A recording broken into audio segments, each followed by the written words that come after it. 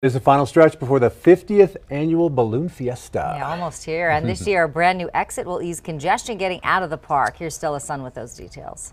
The best time of year is almost here. At the end of the week, hundreds of balloons will fill our skies. While we all love the sights that come with Fiesta, we hate the traffic that comes with it. This is video from Sky 7. This is not a string of red Christmas lights, it's bumper to bumper brake lights. After years of complaints, it's going to make life easier in the mornings for all of the visitors to, to exit the park. A secret way out of Balloon Fiesta Parkway will help you hop onto the highway faster. No traffic lights, no left turns. It's awesome. When you're exiting out of Balloon Fiesta Parkway and onto the frontage road, you'll notice this new on-ramp to I-25 southbound. You can see it here in the video. Officials say it's supposed to help ease congestion getting out of the park.